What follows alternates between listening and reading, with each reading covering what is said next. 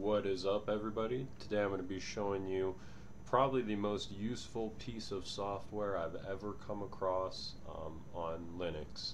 Um, I've gotten so much use out of this uh, program. I use it almost every day and if I had to pick a favorite Linux utility this one would probably be it. Um, it's called Piano Bar. It is a Pandora client for the command line. Um, so what it does is it connects to Pandora Internet Radio and it gives you um, and a, a basically music streaming client in the command line. And it is great. It has tons of features. Um, no advertisements, unlimited song skipping. It'll just play great music all day. You can discover new music with it. Um, it's an awesome utility. Um, so to get this, first you're going to need to make a Pandora account if you don't already have one. So you're going to hop over to pandora.com. You're going to come over to sign up. You're going to fill all that out. Click sign up. Enter your, your uh, email and password, that kind of stuff. Um, I just created a new account for this video. Alright, so after that, um, we're going to go ahead and install it. The instructions past this point are going to be for Arch Linux and Arch based distributions. Um, so it's going to vary a little bit based on your distro. Um, but this is in the official package repos for Arch, so we're going to install it with pacman. So we're going to do sudo pacman dash capital S pianobar.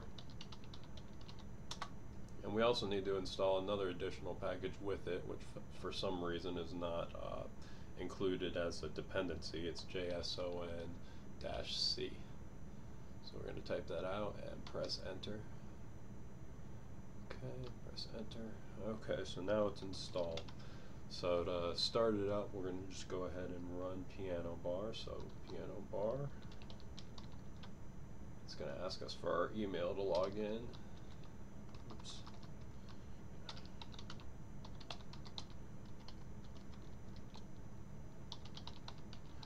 we're going to log in with email that we just created on Pandora and the password. Okay, it's going to log in and then um, I've created a few stations. So I have a chill radio, a Pink Floyd, and a Tool radio.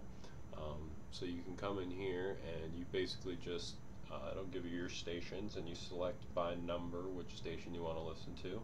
Um, if you, you can press question mark at any time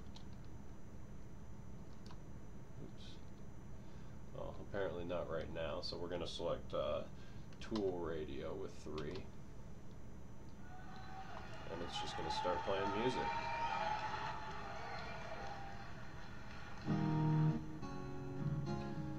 We can uh, press question mark at any time while the music's playing, and it will give us a list of all the commands that we can use. So plus will love a song, so if you uh, if you plus a song, it'll play that song more often and songs like it more often. Minus bans a song, so you can ban a song from being played and it'll play less songs like that song. Um, a can add a greater variety of music to a station, so I'm on Tool Radio right now. If I press A, I could add, for example, uh, Jimi Hendrix to the station, and it would play primarily music like Tool and Jimi Hendrix. C creates a new station. So if I want to create a station, let's say I want to create a station, let's press C. Okay, so now we can uh, enter any artist or any title of any song. Um, so let's go ahead and create a station for let's say uh, Eric Clapton. So we type Eric Clapton, it's going to search, and it found him. So we press 0 to select that station, and now it created the Eric Clapton station. Um, so if I want to go to a new station, I just press S for change station it'll give me my list of stations. As we can see, Eric Clapton Radio was added, so I can go to 1. And and there we go. And that's my Eric Clapton radio. So if I want to love this song, I can press plus, and as you can see, it says loving song. Um, we can look at song information with I, so that'll give us our song info. Um, we can look at the song history with H, so that'll give us our history of the songs that we've played in this session, and we can go ahead and play them if we want to again. Um, we can press N to go to the next song. So you can do that as many times as you want. Just press N if you want to skip a song, press N if you want to skip a song. If you don't like a song and you want to ban a song, you press minus and it'll ban that song and never play it again and go on to the next song automatically. Um, the brackets decrease and increase volume. Um, spacebar or P pauses and resumes. I usually use spacebar. Um, you can rename a station with R. Um, there's quite a few different commands here. It's pretty useful piece of software. You just press question mark to look at all those commands. Um, it's a pretty awesome piece of software for sure. And one more thing I wanted to show you before the video's over. To quit, you just press Q.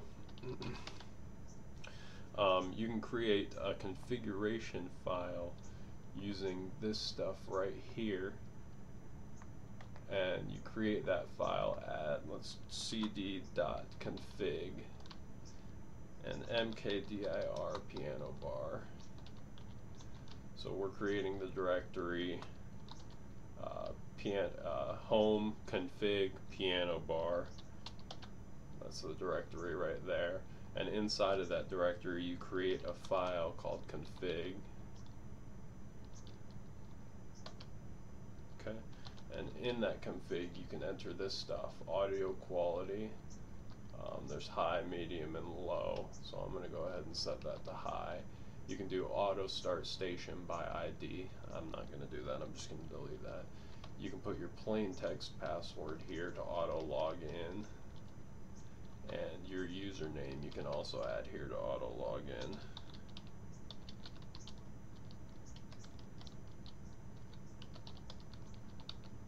And then you save that file so when you start Pianobar again it will automatically log you in and you're right here ready to go and you can go ahead and select a station and start listening to music right away. Alright, so that's Pianobar.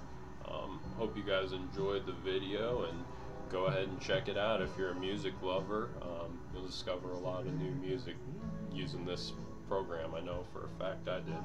Alright, hope you guys enjoyed the video and uh, thanks for watching.